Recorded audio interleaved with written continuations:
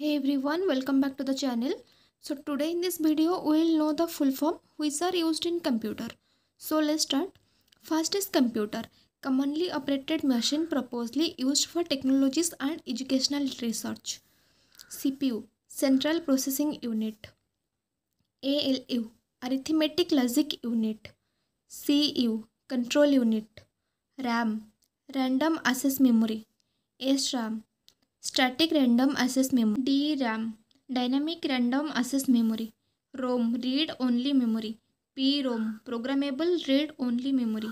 EPROM, Erasable Programmable ROM. HDD, Hard Disk Drive. FDD, Floppy Disk Drive.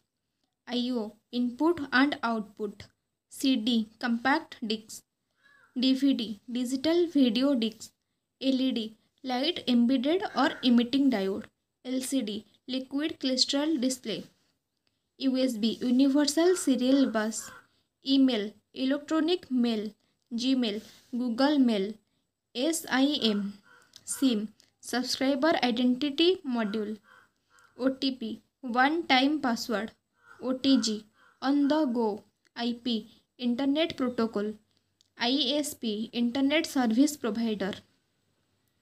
W W W world wide web U R L uniform resource locator H T T P hyper text transfer protocol H T M L hyper text markup language T C P transmission control protocol